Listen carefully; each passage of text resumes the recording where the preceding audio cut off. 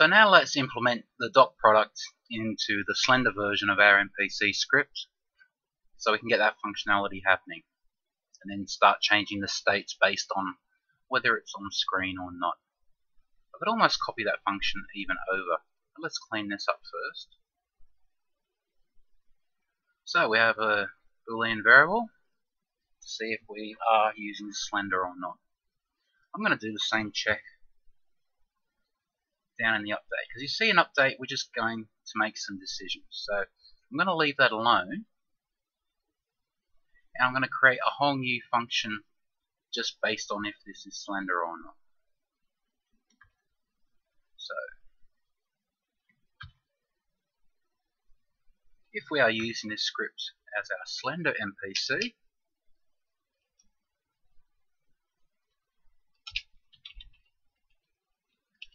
Ah, really botched that up. Okay.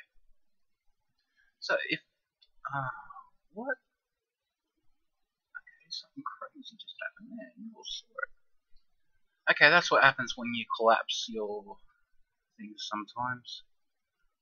Alright, so if we're slender, we're gonna do something. Else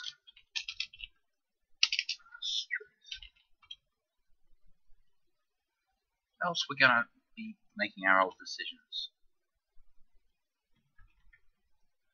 Let's just even move that function right out of the way. I'll throw it after the update, but it's still out of the way. So, if this script is for Slender, we're going to do something. If not, we're going to use our old decisions. So, what about a function for Slender? So, going to be uh, our slender decisions.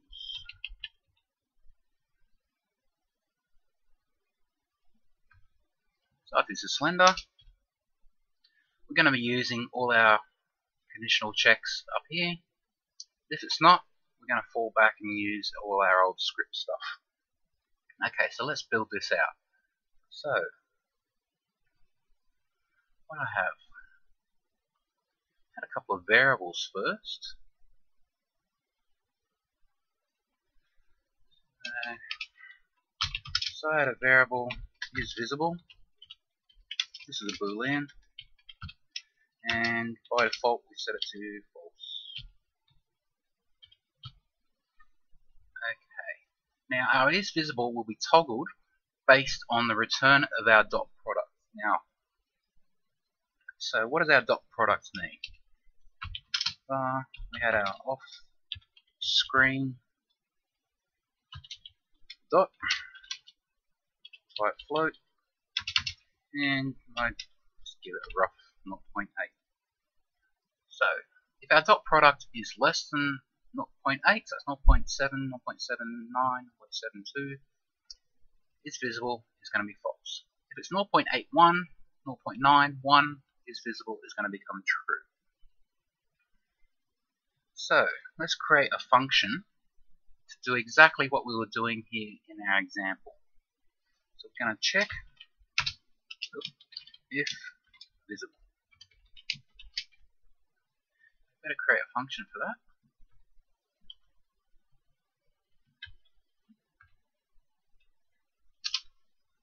There we are, we're going to check if visible. And what does our check if visible do? Well, pretty much exactly what we were doing here.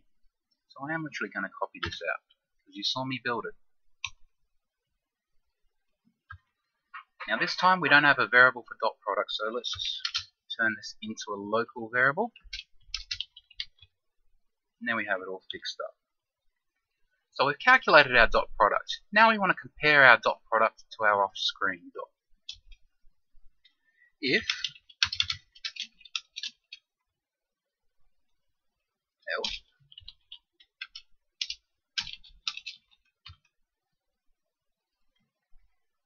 So if our dot product is greater than our off-screen dot, so it's greater than 0.8, 0.9,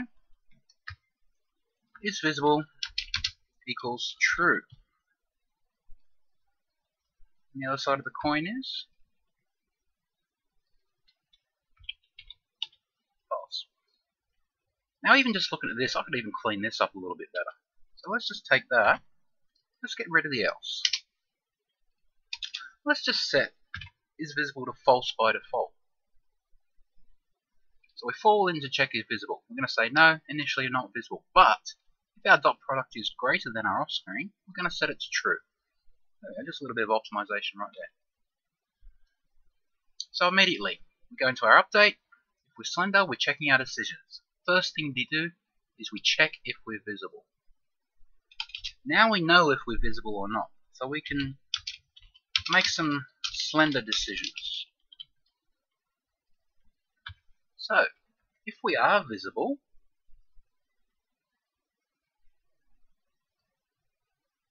what did we do before if we're chasing? We're going to have to do all our range checks, aren't we? Ah, okay.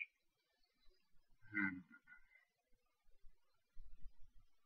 Maybe it would be better to the slender stuff straight into this one.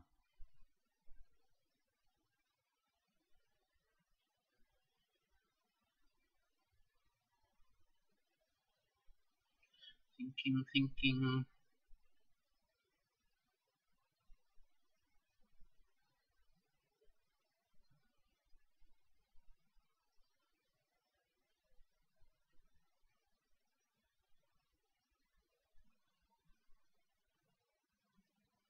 Hmm.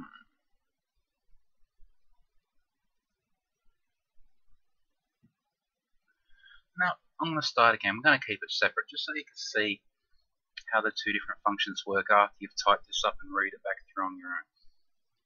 If we're visible, what are we going to do next? We're going to check uh, range. So, if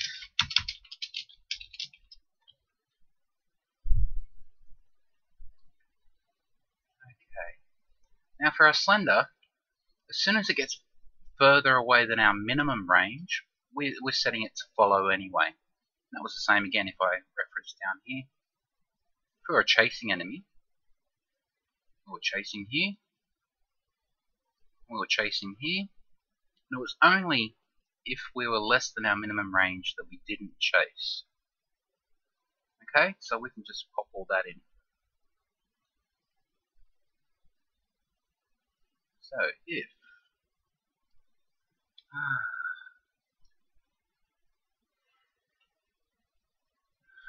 we better get our distance first, okay? So we're going to be using this because that's a local variable. Okay, so before we check our range, we need to have something to check it against. So we get our square distance. Okay, now we can check. If our square distance is less than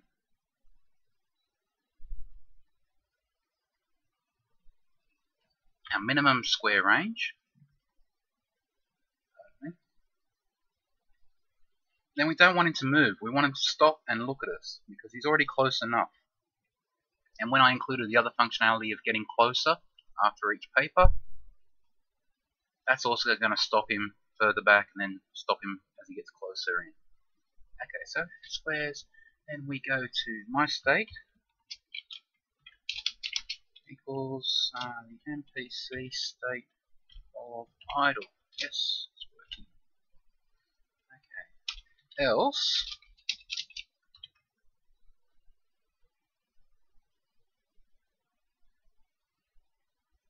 Okay, so if we are visible, we're checking our range.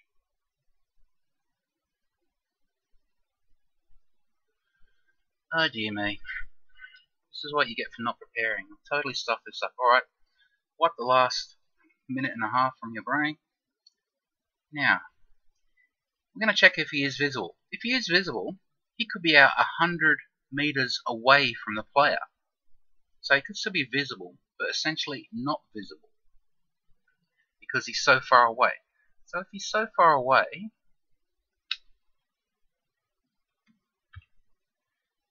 he's going to be further away than our maximum square range. So if he's past our maximum square range, we're going to set into chasing. And that's it, because I'm working on the wrong side. We want him to do everything if he's not visible. Okay, so if he's visible, we check where he is. If he's further away than our maximum range, we're going to ignore that. We're going to say he's so far away we can't see him. So we're going to let him still do his running around thing. So he could walk right up to us in front of us until he reaches this maximum square range. Alright, looks like it's working. So, if he's not visible, let's fall down into that, because that's what I think I was thinking about. Okay, now we're going to be using this too, so we can even move this back out of here. So we're going to be using it in both parts of our conditional. So if he's not visible, let's just make it clear to me.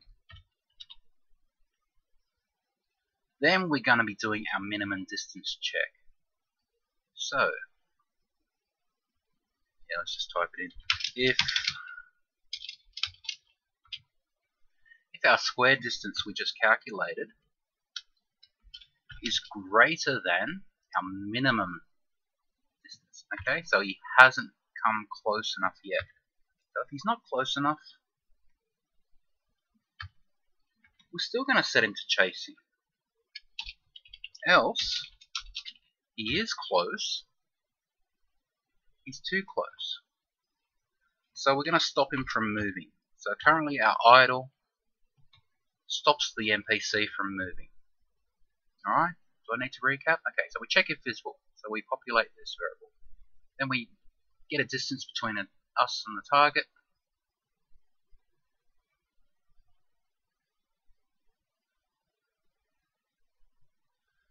Okay. Alright, backtracking again once more. Check if visible. We're actually checking if visible from the perspective of the NPC. This should be on the player because we want to see it from the player's perspective.